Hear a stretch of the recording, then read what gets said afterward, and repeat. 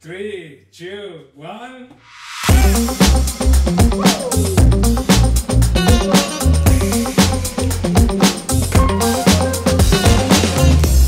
Fala galera! Bienvenidos amigos. Woo! If you haven't done this before, let's do again. Guys, I'm so happy to talk. It's so fun. You can say what's happening, right? It is part of the process. yeah, guys, so after like one hour and a half, we almost finished the podcast and we realized that we didn't press record. Which is So normal, right? that's normal. And thanks for our special guest here today. He's patient and he's still here. We are gonna be doing this again with you guys. Tim Whitlock.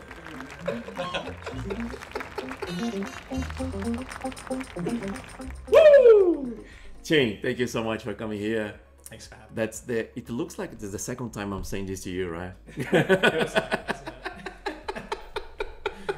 But man, thank you so much for accepting our invitation. I'm really glad that you are here, and I hope we can maybe talk about everything again. That was really amazing. Let's see if we can remember everything. I'll try to remember. Yeah. But Tim, tell me about it. Um, how come did you start to work with photography and videography? It all started back when I was 12, and my mates and I would ride at the skate park on our BMX bikes, and we'd film little like web edit videos. Really fun. Um, and then from there, I sort of didn't do it a lot. I kind of, when I was younger, I wanted to also like design websites and stuff. I'm so glad I don't do that now because sitting at a desk for me is extremely boring. I like to be out shooting and not so much sitting down too much. Uh huh. Um, but yeah, and then from there, we would go camping. Like mates and I had four wheel drives, so we'd go camping and we'd have GoPro and we'd film random things like a bit of full driving action and like, we'd bring blow up pools and we'd go down to a dam in Collie and we'd chuck these No blow way. pools and we'd use them like big sofas and we could all hang out in these pools. It was so much fun.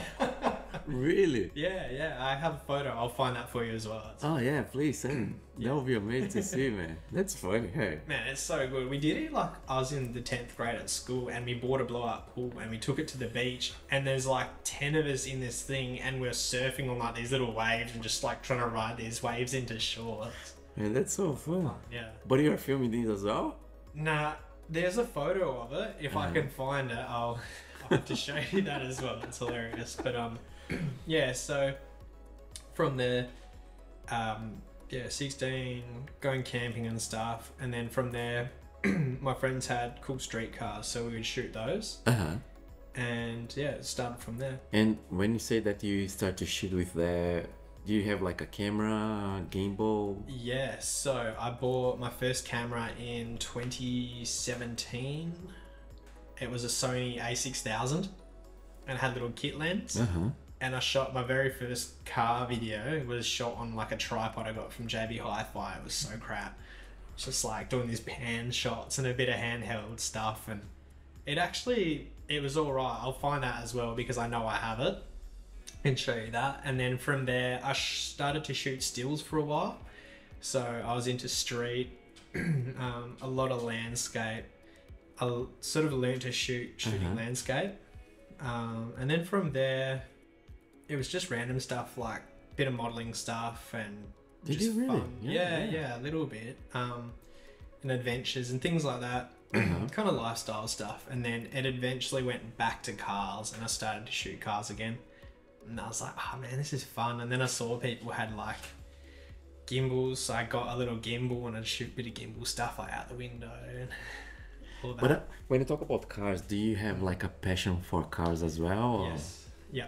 So I don't really know when it all started, but I'm sure it was when I was quite young. Um, always sort of into cars. I've had a couple of fun cars over the years. Uh huh.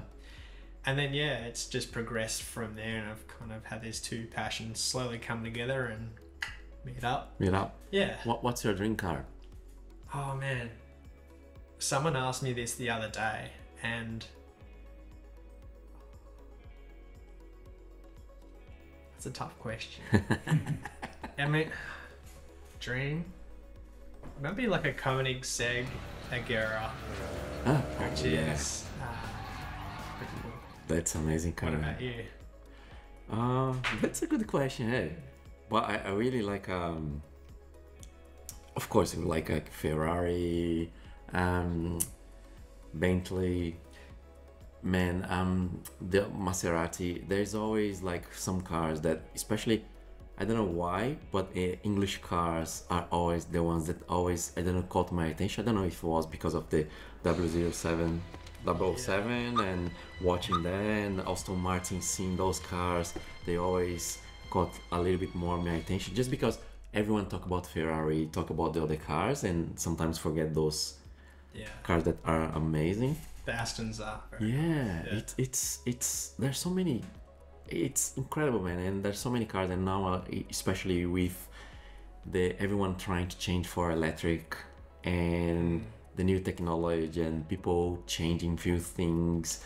I'm really fascinated to see what's happening what's changing and even thinking that the f1 is gonna move from fuel to electric. Yeah, that's kind of scary or? It's a bit. Yeah. I'm not a fan of that, but um, but what are you gonna be doing hey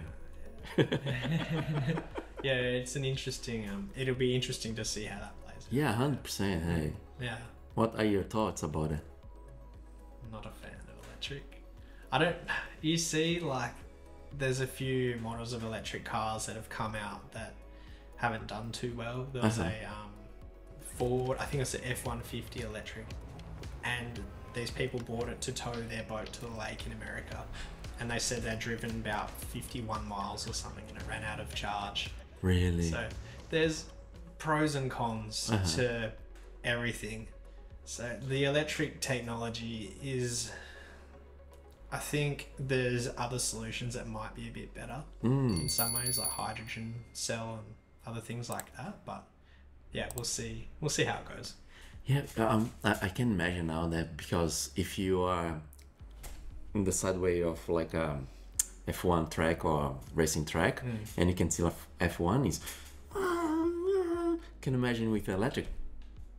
Yeah, I think it really that'll yeah. It'd just be like I think that'll take away from the character of it. It just sounds like I don't know what it'll sound like. yeah, it'll be it'll be interesting to know. Hey, Hmm. cool. And um, all these process that you start to be like photography, videography, and um, you move for your special gimbal from JB Hi-Fi, your Sony camera, and what's happened after? So we progressed a bit from there. Um, I built the first ever camera car type setup. Is this thing my best mate Denyon? Shout out to Denyon as well because he's without him building this thing that we had built. There would be no THW visuals. I reckon really like it wouldn't be as good as what it is now. Oh, So without him first building this um, little camera arm, the thing, uh huh. uh, yeah, I don't think there would really be what it is now. So yeah. And and how do you have? Did you chat with him and how come he come back? He came with this idea to build this arm. yeah, so I had like seen photos of I think what it was this Flowcine black arm, Uh huh. and we built a really really cheap version. It was hundred bucks worth of stuff from Bunnings. Really? So I had this old hatchback and I had the we'd take the rear seats out so I could put more stuff in it. Um, but what I'd done is I built a frame from wood and it's so shit now that when I think about it, I'm like, man, it was so bad. but you have to start somewhere. um, so That's true. yeah, I cut up these bits of wood and built like a frame that would strap down to the floor of the car Uh huh. and gave a spot for this arm thing to attach. So my mate helped me build the arm. He welded up some pieces and it attached to this frame and then the gimbal can attach to the end of the arm and it would sort of take up some of the bumps from the road. And also I had the Sony lens with the image stabilization thing built in so you can get a bit smoother. um, it's yeah, it's pretty shit. Um, And and Tina, I sorry to um, I remember that you talking you talking about the crap Mm. arm or the wood stuff, and I remember like um, you post one time on your social media one video, and he didn't put like the the, the credit or anything, and then when I watch, I said, "Oh no, Tim, what's happened? It, it was yours." And after you said that, "Oh no, no, that's not mine," yeah. um, that feeling to lose like a camera to like a boat could fall off from the arm that come in your mind very often or what's happened in your Sometimes. Sometimes there's been one time where I put the gimbal on and put the safety cable from the arm to the gimbal. It has a mm-hmm. special spot for safety chains. I attached it. I jumped in the car and I looked at the monitor and then I thought, I was like, something doesn't seem right. And I jumped back out of the car, went around, and there's a latch that. So the gimbal I use attaches to the arm I now use mm-hmm. slides and there's a little pin and it clicks and it locks in so it can't really come out. Um, but you also have a clamp and you tighten this clamp and then it's properly locked on. So it'll be locked and there's the safety cable and you're sweet. But I almost forgot one time and I was like, oh. So now I have a piece of tape that's I stick on the monitor and it says check all safety points. so I do that every time I shoot now and no issues ever but I have seen a few videos of like um there's that one of the red on the arm and the arm falls off. Apparently that was a PA that had put it on on that job. No safety chain or anything and it just falls off and apparently though they were saying that camera survived and the gimbal was okay but the lens had sort of like smashed off. Jesus But yeah, you wouldn't want that. There was um, another thing in China that happened where there was an arm, and the arm, the crane operator, or arm, whatever you call it, they didn't, they weren't paying attention, and the arm was out the side, crane out the side, and it hit like a light post. Mm, there was an Alexa on there, and it dropped like 20 meters and broke. Man, I saw that and I so expensive, man. and, and can imagine because underneath of this bridge could be like another road, right? Yeah. Can imagine if you fall in a car or fall in someone? Yeah, like hurt people as well. That's the worst thing I think that can happen is if it hurts another person. But obviously, like equipment damage is. That's so crazy. It was like an Alexa with an Angénieux lens, so it's an expensive setup. yeah. And then, yeah, Thinking about secure all these process, all these pieces and pieces that you're talking about, um, do you always put these in practice since we started? Yeah, yeah. Ever since I started, I'd use some kind of safety chain thing to stop the gimbal ever being able to come away from the car, like say detach. Huh. and roll down the road and hit other cars and cause an accident and stuff like that. That's probably the worst thing I think that could happen. Uh-huh. Um, so yeah, we have a lot of processes and stuff in place to stop these kinds of things happening. And, And I think the thing as well is that um, there's companies that have brought out cheaper like little arm setups and stuff, but they don't really sell a lot of safety stuff around it or for it. So um, there's a Tilta one that you can just suction onto the back of a car, but you see people using them. Not everyone's like strapping them on for safety, and it's like you should be doing that. You know, yeah. it can cause so much, so much grief if it drops off if it happens to. And that's a good point. For example, if you buy like a, a arm from Toyota, whatever will be the brand, of course, but you kind of rely that the security systems, everything will be on place. But in your case, because you built from scratch, and um, how come did you come back? Did you came with these ideas to put the security systems to think that it could damage something? How come did you start with that? Um, I think it started. It was like part safety, but also part just wanting it to be solid and um, how do I say, just really strong. So the suction cups. So the way I rig the car is there's two things that are mounted onto the chassis of my car. They're bolted on, and then we have like a tow hitch type thing that bolts to that. Uh, we put the vertical tube that your arm will clamp onto there, and then there's two on like these clamps that can swivel, and they go down to these things with suction cups, and each suction cup can hold 90 kilos. So they stick each on one. like the roof or the back window of whatever car we're using, Mm-hmm. and then we will strap it through the doors and around the safety, the um, suction cup things. Uh-huh. So it's all secure. So if the suction cup does pop off, there's still a strap there to hold it and it won't like fly off. Oh, cool. So it's all quite strong, safe, and secure. And do you still? that came into my mind now. I don't know why, but can you imagine if you are sucking the the the, the windscreen or the screen or the wind and the It wind pulls off, yeah. I've thought that a few times. I'm like, man, like, it's a bit, oh, a bit scary. Is there something that you need to put inside of the car as well to scrap or to strap everything? Yeah, so um, there's a strap. It kind of runs through inside the car, so Ah, through the gotcha. yeah through the doors, and then back around, and it goes around each. Maybe a core. Yeah, it holds everything just in in case anything happens. Uh huh. But uh, there's been a few times where I've thought like, oh, maybe this will like break the back window, but it's never. A lot of people do it too. It's quite common. Preferably, you can attach to roof racks or Uh-huh. suction down onto the roof. But some cases you don't. You can't do that. Like on a big four wheel drive, the roof is generally a bit wavy Oh yeah. or like it's not solid. So we'd use the back window or grab onto like a roof rail or roof rack type thing. Uh huh. Yeah. And um, from all these um, projects that you have been working so far, which one do you think is more memorable? The one that you love most? Probably the Lamborghini, the Miura homage. It's Uh-huh. Miura 50.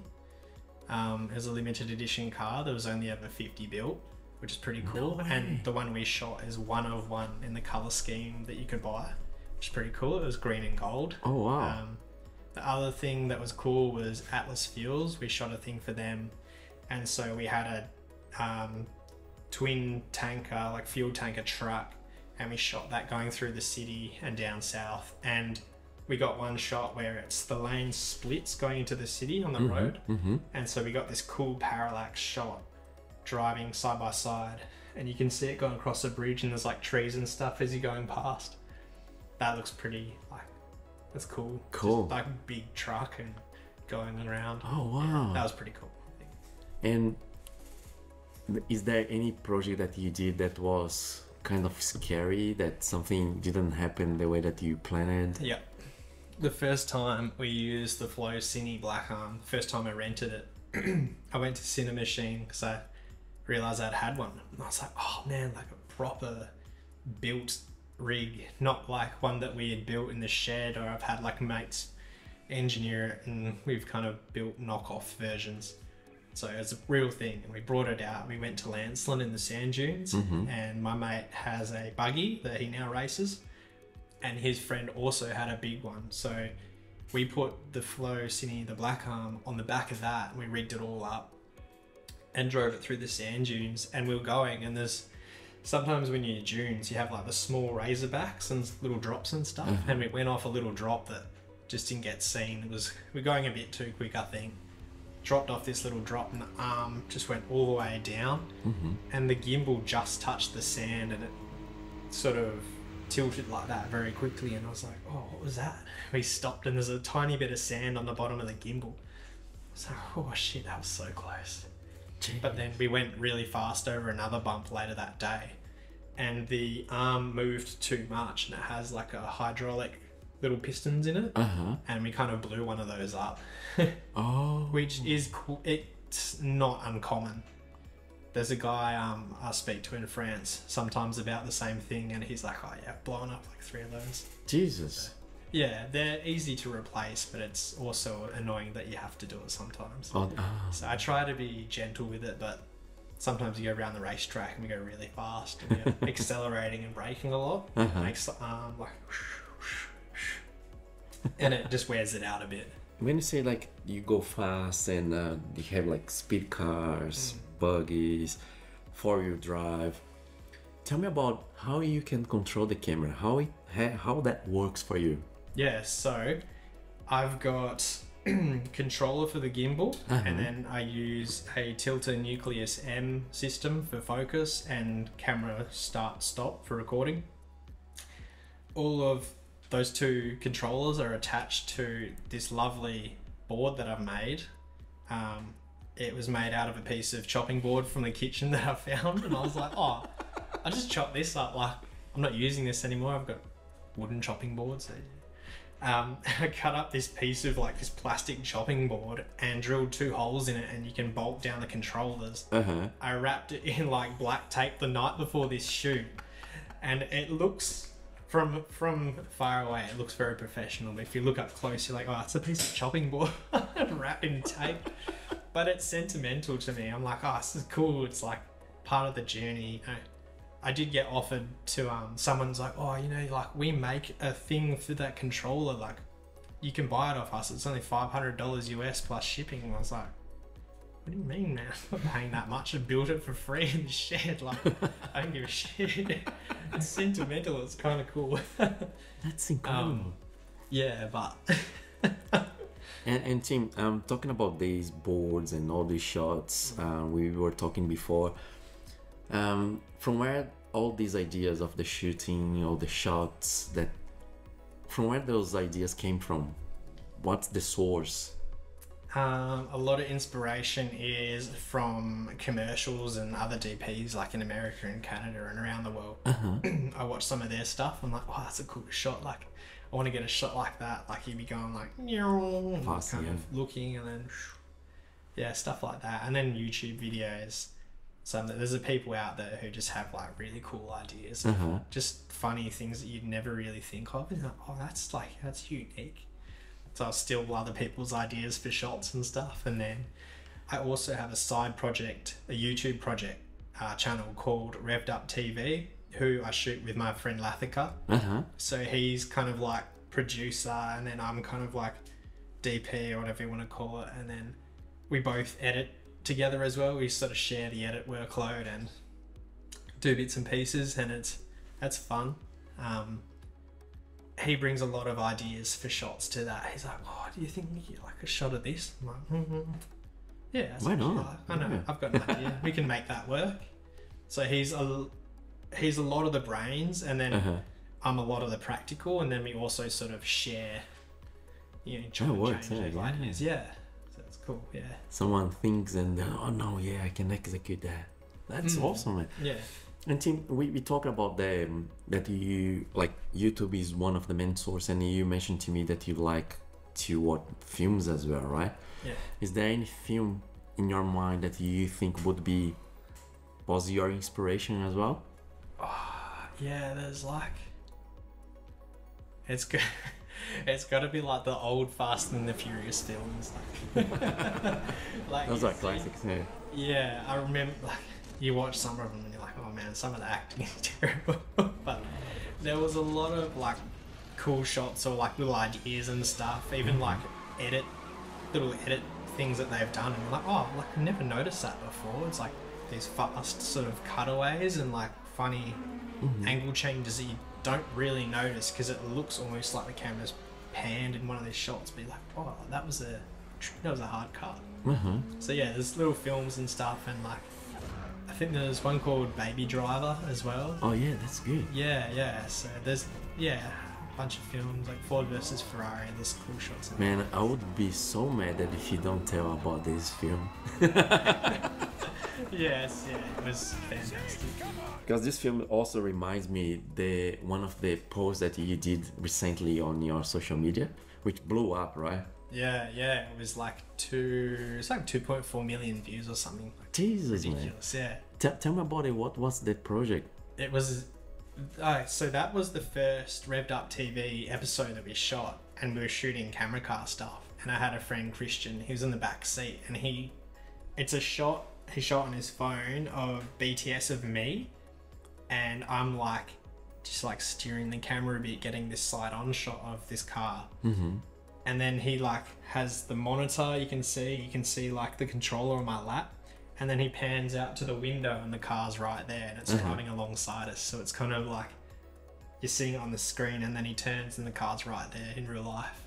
And that was a replica of a Ford GT40. It's very famous in racing history. Yeah, that's amazing. I, I love that car. Yeah. And also, I saw you have like a radio as well that you contact with the other person, the driver from the other car.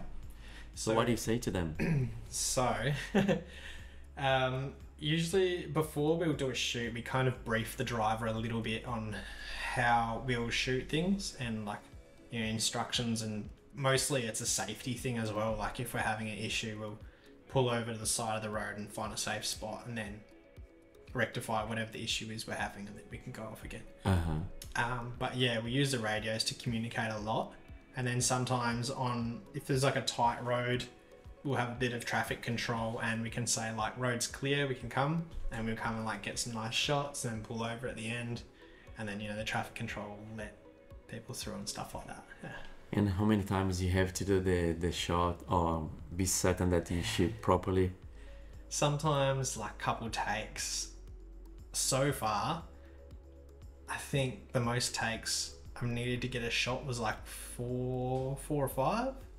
Usually it's not too bad depending on how good my focus pulling is on the day Mhm. because I'm operating the camera and pulling focus. Uh-huh. The focus pulls aren't like they're not like 85 mil wide open. It's I shoot on a 35 mil lens generally, and at like f 2.8 or t 2.8, so it's not too hard to get a little pull from say 10 meters to 3 meters.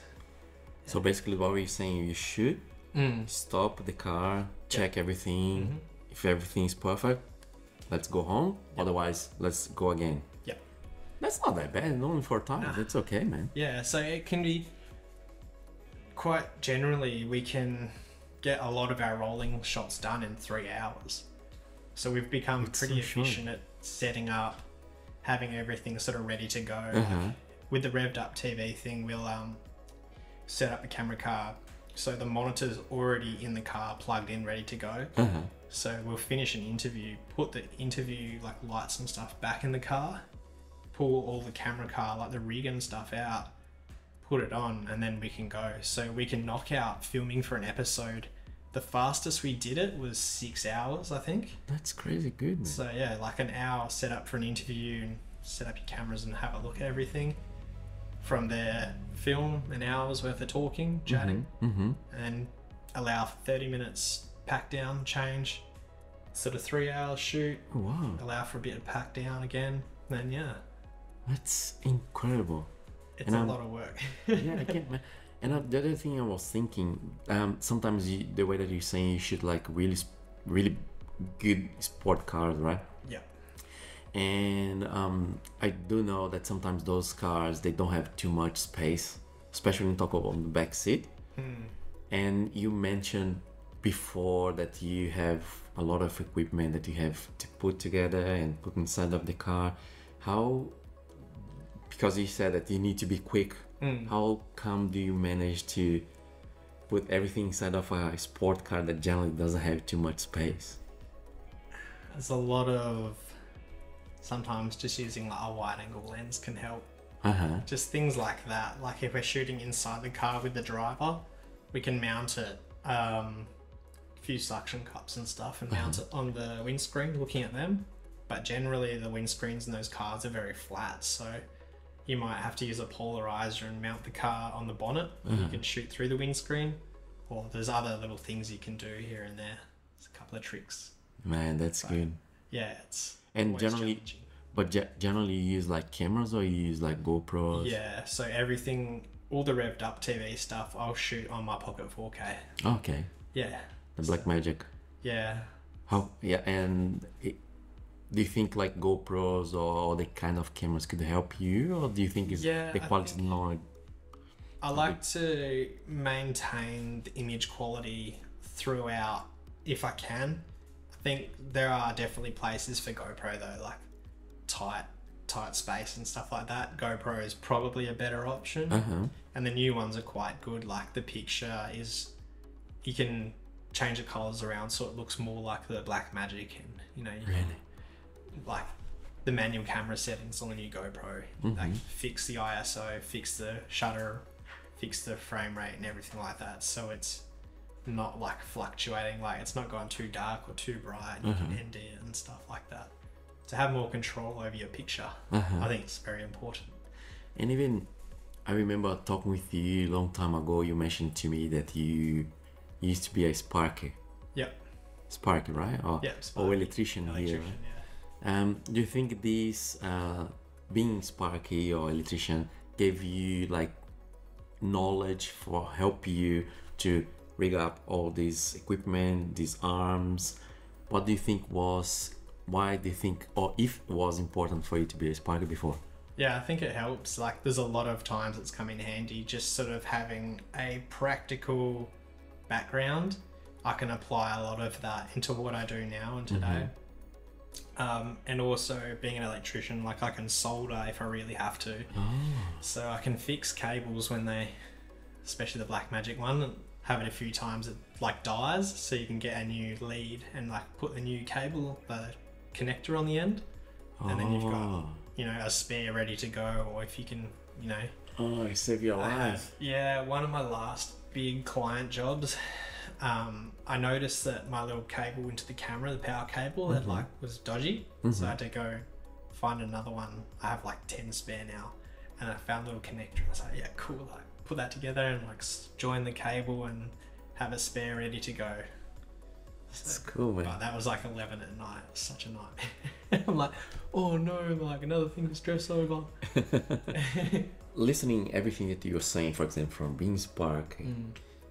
working and building up all these arms and shooting everything with small cameras and now shooting with Blackmagics how come and how did you learn because you have to do the editing as well in few times right for few projects how was the process for you to learn all these um, editing tools what editing tool that you're using now as well I use the best editing tool, DaVinci Resolve.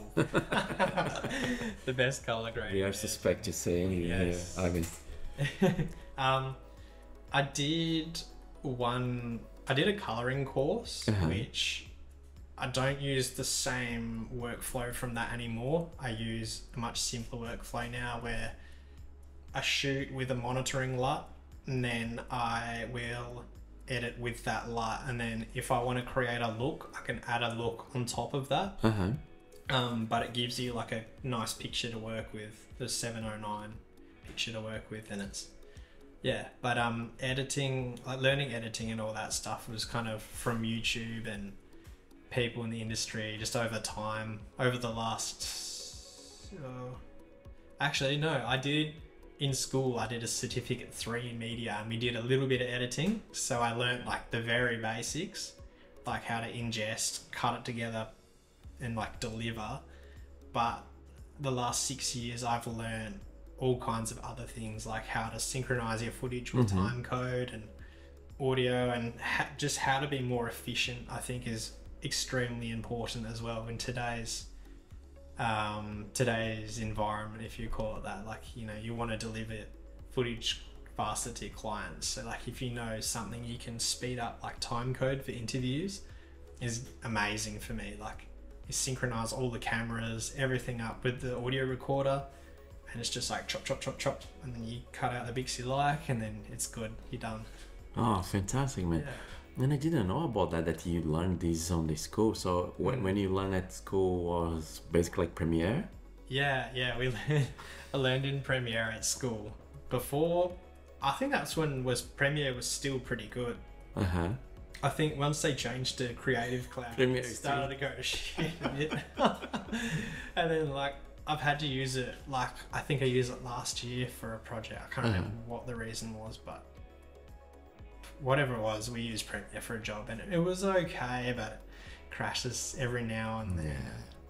I think I think that's the only. Oh, not the only, but it's one of the drawbacks of the tool. The tool Yeah. per se is really good, Yeah, it is a very good. but unfortunately, crashes all the time. And if you're working with projects, it's a nightmare. You always, it's like every ten seconds save, every ten save, yeah. Yeah. save, and um, thinking like the the possibilities and how powerful DaVinci can be, Mm. especially when we talk about color grading. yeah.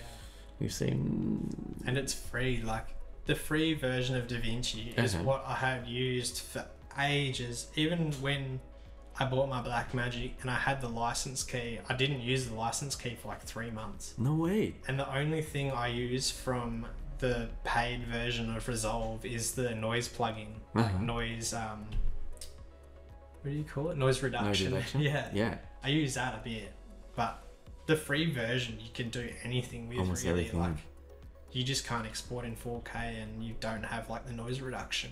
The free Oh. version does everything though. Like it's amazing.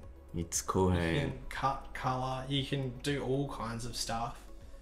Cut it, color, audio, and then deliver. Like And you don't get stuck on subscription. yeah, and then have a script. yeah, you don't have that fee going out every month.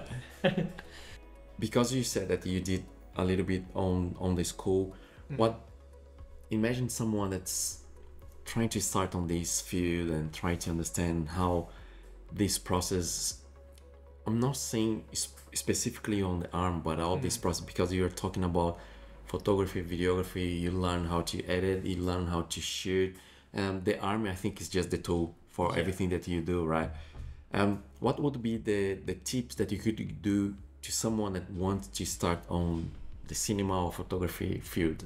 I say like you can you don't need a camera or a fancy camera to start. You can learn on your phone. The biggest things like exposure, composition. I'd say the next one would be white balance. because white balance you know, it's it affects the mood of the image and all kinds of things like Uh that. Uh huh. And then I'd say the next thing, if you want to progress, say like shooting videos, I'd say learn lighting, which is something I'm not the best at. That's definitely not the best. Um, after that, oh man, good question. Um, yeah, lighting is an important thing to learn. But if you buy a camera, just learn all the settings. It Uh-huh. doesn't need to be a flash camera. Okay. Cheap Sony, six hundred bucks. You're sorted for a long time, really. Like, it's Cool. not about the camera; it's about And- lighting and. And if you have to give like someone um, some feedback or some ideas about who to watch on YouTube, for example, what are the people, what are the channels that you follow, and you say, watch these guys.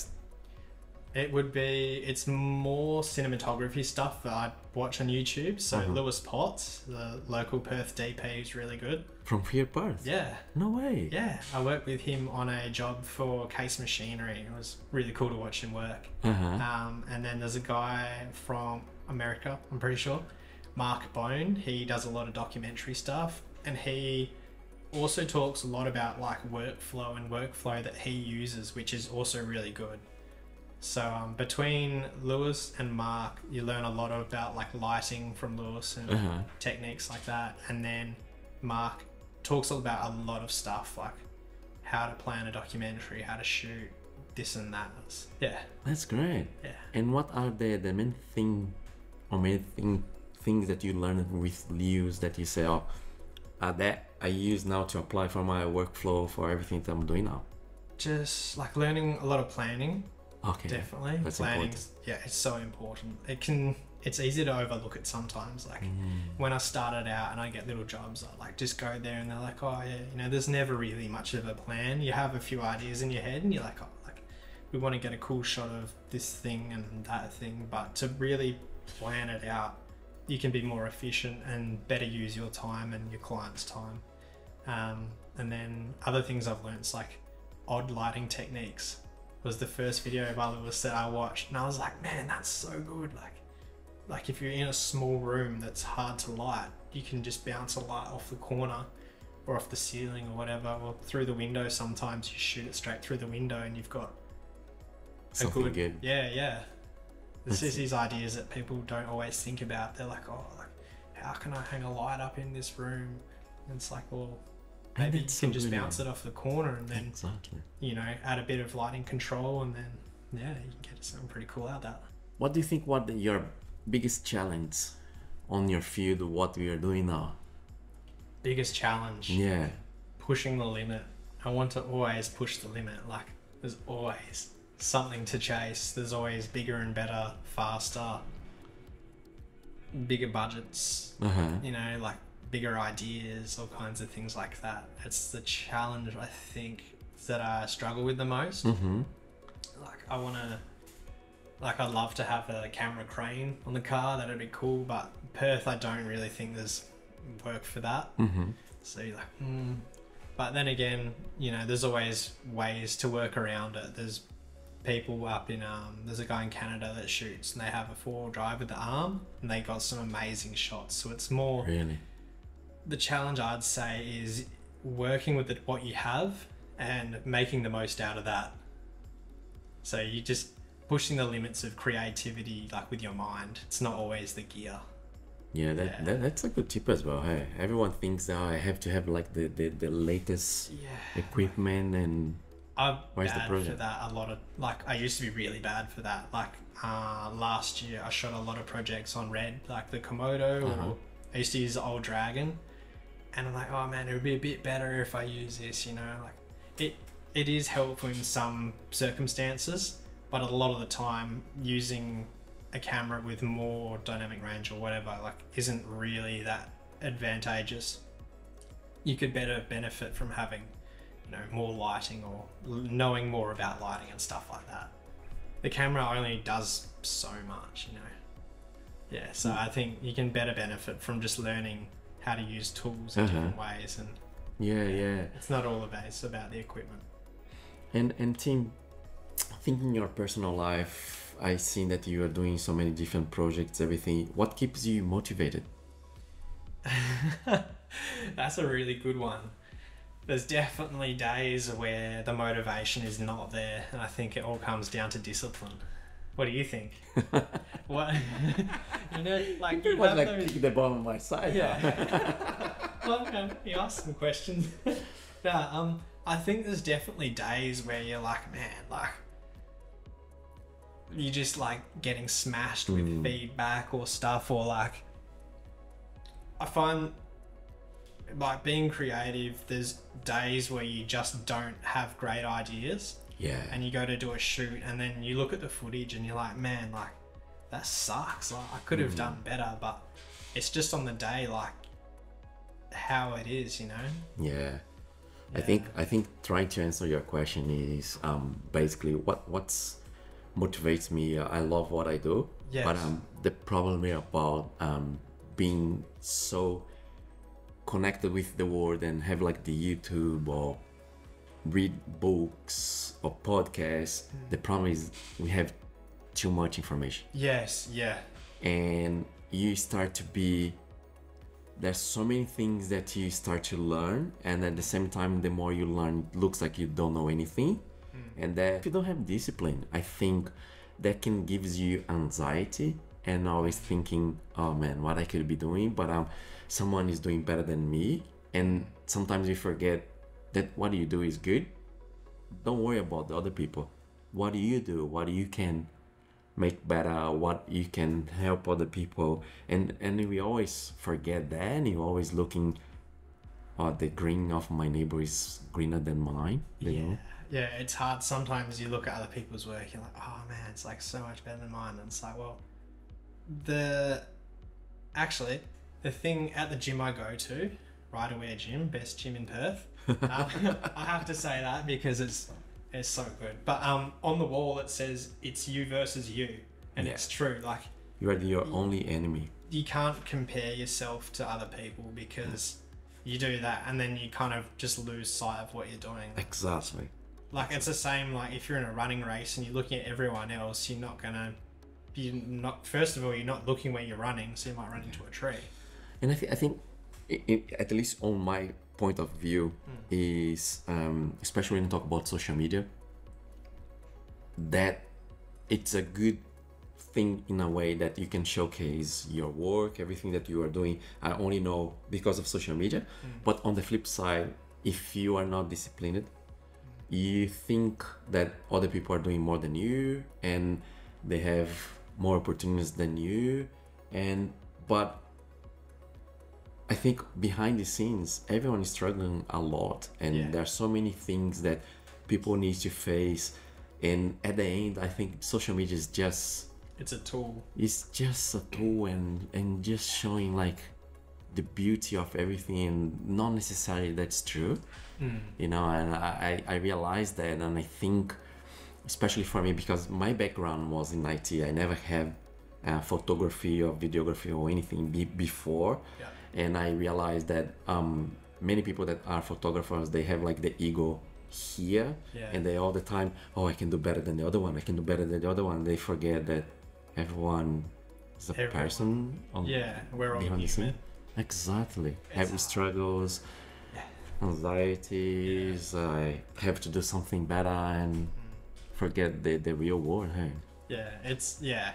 We all like everyone's human. It's easy to forget, and you look at other people's work, and you're like, oh, they've got so much more work going at the moment. yeah no really It's like there's no point focusing on who else has got more work. It's more focusing on yourself and like I find for myself if like if I start to think like that, it's not going to help me. So I'm like I just focus on what I do, and I just go with that. Yeah yeah, and i think when we start to do that we forget that we always do that get dismotivated you don't do anything and if you don't do anything you're never gonna improve you're not gonna have more clients you're not gonna have more projects yeah.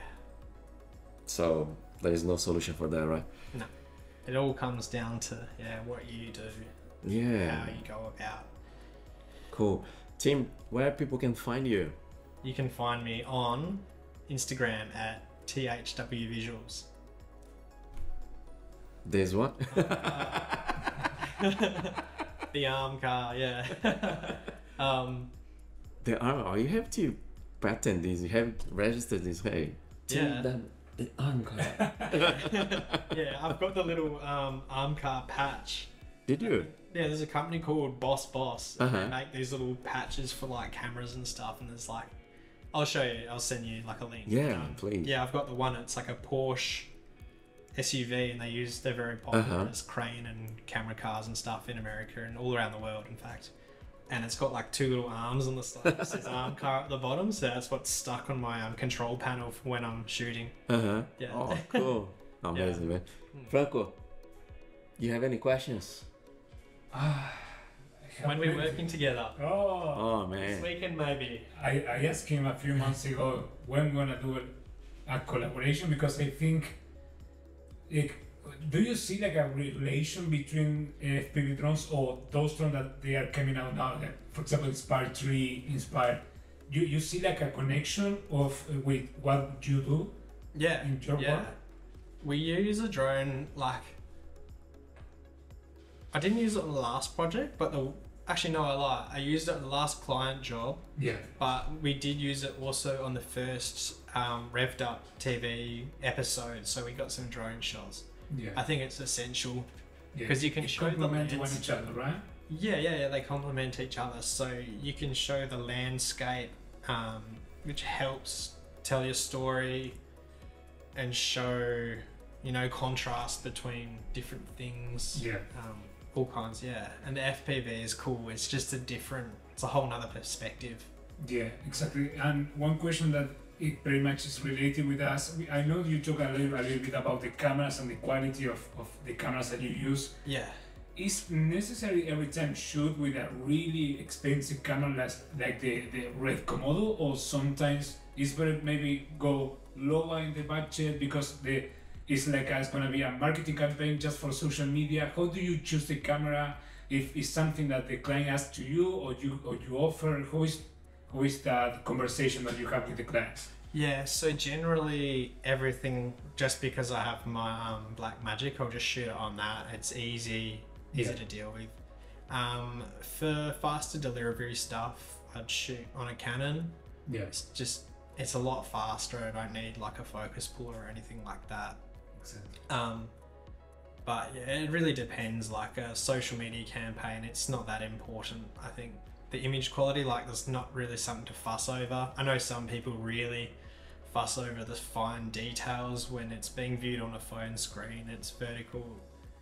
It is what it is. Like, it doesn't have to be, you know, production, high production quality. Exactly. It's yeah, there's a time and a place for every tool. Yeah. Yeah, but I think One thing I would fuss over is color. So like like Yeah. we said before, the new DJI, the Mavic Three, Yeah. the color's really nice on that. It's a lot more natural now. Mm-hmm. Whereas the older color in like the Mavic Two and stuff was a little bit funny looking, but it's yeah. I think that's one thing I'd fuss over, especially for like a social media campaign. You don't want people's skin tones to be too yellow or too pink or maybe even green or something. Mm. Wow. So yeah, that's all. Cool. Tim, thank you so much. Thank you. It was a pleasure to work with you. Oh, I not not of course we worked together before as well, but uh, I don't know why I said working. but um, thank you so much for coming here. And it, it looks like there's so many things that you could be talking, and uh, there's so many other projects or many things. But let's leave this Thanks for the next second second episode. Yeah. Jane, thank you so much. Woo! I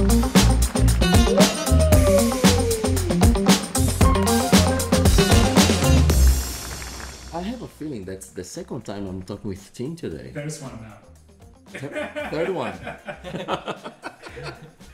but yeah, um, uh, as I said, we, we have opportunity to work like two or three times. Man, to be honest with you, there are some cards. I, it's I'm ashamed to say that there are some cards that I think belongs to you, Nah, I remember but they are old ones. I picked up the Angelbird card, unless I did leave a card with the guy from Perkins, Oh, but that's no. alright. It was a cheap card anyway. There's like a one really, but it's 16 gig. I don't know what you did with that. It's a bad word. 16. it's one tera or nothing. Six, you know. And and uh, we have opportunity to work with team like two, three times. Yeah, Oh, yeah, a couple times now at the Maca 200. Yeah. That, that was that, that, that that's full on. Hey? I can't believe you do that. The edits like the end of the day, and you have like 30, what's it, an hour or 30 minutes to do that edit. Yeah.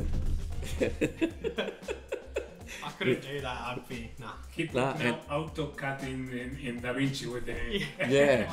AI. And uh, and the funny thing is, all the time, if you don't know, I don't know if you were there, and someone was always here Ah, yeah. and asking for me, oh, what are you doing? And "Oh, yeah, yeah, yeah, yeah, yeah, yeah. So I put the phone. Uh, yeah.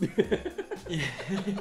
Put the headphones in. yeah. So sometimes you need to do whatever you have to do for the client, man, and run things up and be quick.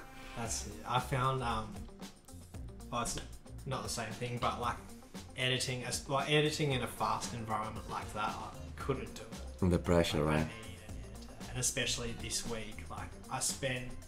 So I shot. Uh, I went to Collie Wednesday last week, Uh huh. and we shot a dinner thing, and then we shot the next day cars on the track. Day after that, I went to Ascot. We shot like a machinery thing, and they're like, "Oh, can you do photos? We want some photos of machines, but we also want like a little wrap video of this event." And I was like, "All right, like we can do a little wrap up video."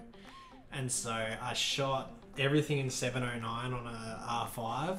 I'd never used a camera before, and I was like, "Oh." Man. Oh man, that's a beast. Yeah. It's a great camera. I really like, was impressed by it.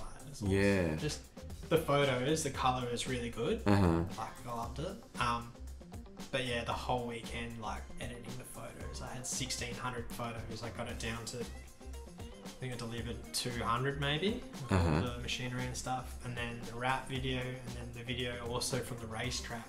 Boy. It was like three full days of editing. I was like, man, I need someone to do this. because ideally, like, ideally, I have an editor. Um, send them the proxies, they do it, I get it back, and I can do little minor changes. Uh huh. Uh huh. And then also, that frees up more of my time, so I can go more and look creative. for yeah, look for other projects or look for work. Uh huh. You know, progress. Makes sense, man. Yeah. Makes sense. And and why you use the R5? Um, it's what my friend had. Ah, cool. It's, it's actually so good. I, because I have to confess for you, man, and I think Frank is with me on this. Um, I don't know if before we used to talk about Blackmagics. Yeah. Blackmagic still one of my favorite cameras. I love Blackmagic, but we start to use Sony's. Yeah, yeah. Man, So Blackmagic is Man, seriously, if you have the opportunity, when you talk about photos and videos, try to use. Uh, we use like Sony's the the R5, R R4.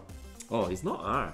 no, no, It's Sony Alpha Sony A74. A geez, A7 IV, and um, photos, videos, especially in low light. Yeah. Yeah. A7, I had someone shoot a job for me on an A7S3, Yeah. and it's good camera. Yeah. Yeah. Yeah, it's um, and especially have you seen like the new the FX6 and the FX3? Yep. Yep. Yep. So apparently, someone from ARRI started working at Sony, the color science engineer or whoever they are Uh-huh. called, and now their color, the new color profile they have is a bit, it's more natural. The colors are bit, is completely different, man. yeah, all those new cameras is completely different. And um, funny enough that you're saying that is um, more and more we have opportunity to work with people that do like um, TV series for Disney, um, Apple TV, Netflix, and those guys they are using FX3 and FX6. yeah. They're such. I reckon they're like. Remember how the C200 was sort of like a workhorse for quite a while? I think that's the FX6 is like that. Yeah, exactly. just a bit more compact. It's got all the controls for sound. It has that, you know, the ND thing. Mm, That's really good yeah. because you can ramp it up and down, and it's really It's it's it's it's amazing. It, it's it's sad for us because we have like still stuff from Canon, Mm. but I think slowly we're gonna be changing because all the cameras, everything. We work this weekend and this change our lives, man. We Yeah. all I always was complaining about back pain, too Yeah. heavy, every stuff, but yeah. Focus. Yeah, that's uh Yeah. maybe that's another podcast. you bought the Nvidia Focus for the Canon, for the Blackmagic. Yeah, we bought like the So it's yeah, more weight, more money that you spend, Yeah, more things to learn, more things to fail. Yeah. As well as more things for the next episode. Yeah. Team, thank you so much. Thank See you you. next time. Cheers.